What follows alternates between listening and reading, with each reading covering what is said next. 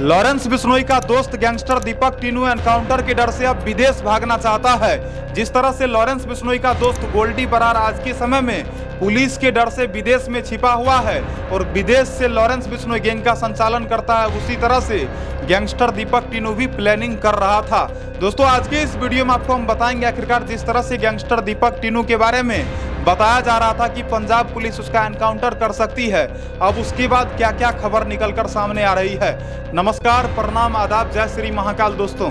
सबसे पहले तो आपको एक बात जानकर हैरानी होगी आज के समय में पुलिस वाले, जो कि अपराधियों का इतना अधिक मदद कर रहे हैं, जिसके बाद लोग यदि जान रहे हैं तो कहीं न कहीं लोग भी सुनकर हैरान हो जा रहे हैं। बताया जाता है, पंजाब पुलिस का एसआई स्टाफ प्रीतपाल सिंह जो कि गैंगस्टर दीपक टीनू को कपूरथला जेल से मनसा की ओर लेकर आ रहे थे। और बताया जाता है, गैंगस्टर दीपक टीनू के हाथों में हथकड़ी भी नहीं लगा हुआ था। बीच रास्ते में गैंगस्टर दीपक टीनू, जो कि प्रीतपाल सिंह से कहता है कि मैं अपने गर्लफ्रेंड से मिलूँगा तो बताया जाता है वो पुलिस वाला जो कि उसे एक होटल की ओर लेकर जाता है। जिस होटल में जाने के बाद गैंगस्टर दीपक टीनू, जो कि अपने गर्लफ्रेंड से मिलता है, वहाँ रंगरेलियाँ मनाता है और रंगरेलियाँ मनाने के बाद वो प्लानिंग करता है कि यहाँ से भाग जाना है। आपको बता दें, गैंगस्टर दीपक टीनू, जो कि वहाँ से पुलिस की हिरासत से फरार हो जाता है। फरार होने के बाद जैसे ही चारों ओर खबर फैलती है तो मानो कि हरकंप मच जाता है। चारों ओर लोग पंजाब पुलिस के ऊपर सवाल उठाना शुरू कर देते हैं। और इसी बीच आपको बता दें, गैंगस्टर दीपक टीनू के खिलाफ पुलिस वाले जो कि पूरी तरह से सख्त हो जाते हैं। लेकिन जो पुलिस वाला उसके साथ था एसआई स्टाफ प्रीतपाल सिंह, उसके ऊपर भी कार्रवाई करा जाता है।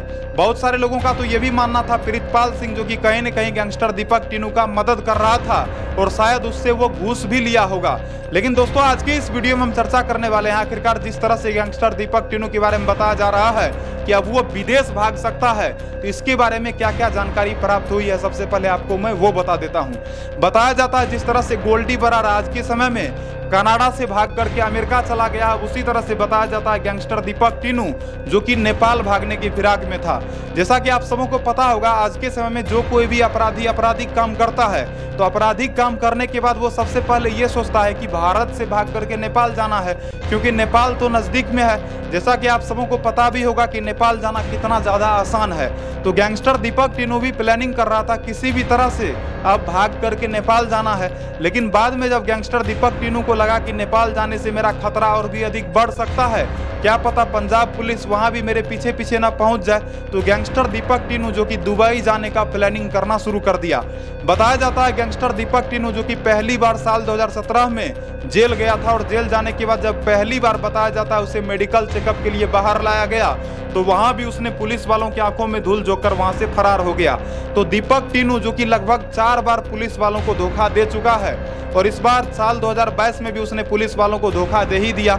आपको बता दें, गैंगस्टर दीपक टीनू जिसके बारे में ये कहा जाता है कि वो बहुत ही खतरनाक गैंगस्टर है। साथ ही साथ वो दिमाग से भी काफ़ी सातिर है।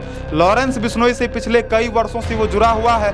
साथ ही साथ लॉरेंस बिश्नोई गैंग के लिए वो कई बार कई तरह के आपराधिक कारनामों को अंजाम भी दे चुका है। लेकिन गैंगस्टर दीपक टीनू के भागने के बाद पुलिस वाले जो कि पूरी तरह से परेशान हो गए थे और पुलिस वालों का मानो कि वो एक तरह से सिरदर्द बन चुका था। लेकिन अभी भी गैंगस्टर दीपक टीनू जो कि पंजाब पुलिस के हथे तो चढ़ा है नहीं तो पंजाब पुलिस से एक और खबर निकल कर यह आ रही थी कि पंजाब पुलिस जो कि कहीं ना कहीं गैंगस्टर दीपक टीनू का एनकाउंटर भी कर सकती है। तो दीपक टीनू को जब ये खबर लगा कि मेरा एनकाउंटर भी हो सकता है तो उसके बाद गैंगस्टर दीपक टीनू ने प्लान करा कि विदेश भागना है। लेकिन आपको बता दें, दीपक टीनू विदेश भागने का प्लानिंग कर ही रहा था कि इधर पुलिस वालों को पता लग गया। आपको बता दें, पंजाब के सीएम भगवंत मान जी ने कहा कि चारों और चारों तरफ़ से बॉर्डर को घेर दो, जहाँ कहीं भी गैंगस्टर दीपक टीनू दिखता है, उसे अरेस्ट करो और उसके खिलाफ सख्त से सख्त कार्रवाई करो। हालाँकि आपको बता दें पुलिस वाले जो कि इस बीच काफ़ी गुस्से में है, क्योंकि पुलिस वालों की गिरफ्त से यदि अपराधी भाग जाता है तो सोच सकते हो कितनी शर्म की बात है। यंगस्टर दीपक टीनू के बारे में बताया जाता है, वो अभी फ़िलहाल पंजाब और हरियाणा में तो है नहीं, लेकिन वो कहाँ है ये भी बताया नहीं जा सकता है। गैंगस्टर दीपक टीनू जो कि फ़िलहाल अपने गर्लफ्रेंड के संपर्क में है और बताया जाता है, जब गैंगस्टर दीपक टीनू भागा था तो वक्त सबसे पहले वो एटीएम गया। और एटीएम जाने के बाद बताया जाता है, दीपक टीनू जिसने रुपया निकाला, रुपया निकालने के बाद पुलिस वालों को जब पता चला कि दीपक टीनू जो कि एटीएम से रुपया भी निकाला है तो बाद में दीपक टीनू और उसके गर्लफ्रेंड के अकाउंट का जाँच करा गया। अब पुलिस वालों के मन में सबसे बड़ा सवाल यह है कि दीपक, टीनू को रुपया किसने भेजा? ये भी सबसे बड़ा सवाल था। तो पुलिस वाले उस व्यक्ति का भी खोज कर रहे हैं जिसने उसे रुपया भेजा। साथ ही साथ दीपक, टीनू के अकाउंट का भी जाँच पड़ताल जारी है। साथ ही साथ उसके गर्लफ्रेंड का भी अकाउंट नंबर जिसका की छानबीन करा जा रहा है। आपको बता दें, दीपक, टीनू को जिस पुलिस वाले ने मदद करा था, उस पुलिस वाले को बताया जाता है।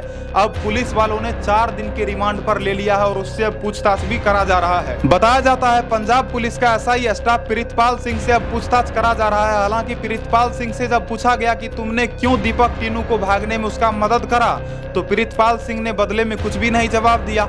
लेकिन आपको बता दें, गैंगस्टर दीपक टीनू, जो कि अभी फरार है, और फ़िलहाल बताया जा रहा है गैंगस्टर दीपक टीनू, जो कि आगे कोई न कोई बड़ी वारदात को अंजाम दे सकता है।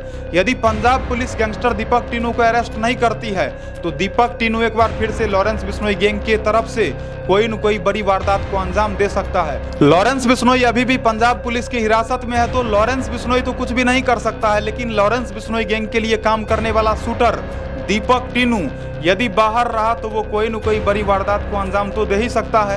तो फ़िलहाल पुलिस वालों का सिरदर्द जो कि अभी भी बढ़ा हुआ ही है, और गैंगस्टर दीपक टीनू जो कि पुलिस वालों के हथे तो चढ़ ही नहीं रहा है। तो दोस्तों, फ़िलहाल बताया जा रहा है, गैंगस्टर दीपक टीनू जो प्लानिंग कर रहा था कि वो विदेश भागेगा तो फ़िलहाल दीपक टीनू के ऊपर पुलिस वाले जो कि अपना पेनी नज़र बनाए हुए हैं। तो आगे देखते हैं आखिरकार गैंगस्टर दीपक टीनू जो कि कितना जल्दी अरेस्ट होता है और कितना जल्दी दीपक टीनू से जुड़ी। और भी बहुत सारी खबरें आपको सुनने को मिलती है, मैं भी इस इंतज़ार में हूँ। तो फ़िलहाल आपको बता दें, दीपक टीनू जो कि भागना चाह रहा था, लेकिन पुलिस वालों को पता लग गया है। तो दीपक टीनू अब विदेश तो नहीं भाग सकता है। लेकिन हाँ भारत में अब वो कितना दिन तक छिप कर रहता है, ये भी अहम सवाल है। तो फ़िलहाल इस वीडियो में इतना ही। वीडियो को लाइक करना, चैनल को सब्सक्राइब करना और इस वीडियो के माध्यम से मैंने आपको बताया आखिरकार किस तरह से एक पुलिस वाले ने एक गैंगस्टर का, एक अपराधी का मदद करा उसके गर्लफ्रेंड से उसे मिलने में और अब किस तरह से उस अपराधी को पकड़ने में पुलिस वाले, जो कि अभी जुटे हुए हैं तो आगे देखते हैं क्या क्या होता है। तो फ़िलहाल इस वीडियो में इतना ही। वीडियो को लाइक करना, चैनल को सब्सक्राइब करना और कमेंट में अपनी राय अवश्य लिखना, अपराध और अपराधियों से हमेशा दूरी बनाकर रखना। नमस्कार, प्रणाम, आदाब, जय श्री महाकाल दोस्तों। मिलता हूँ अगले नए वीडियो में नए खबर के साथ।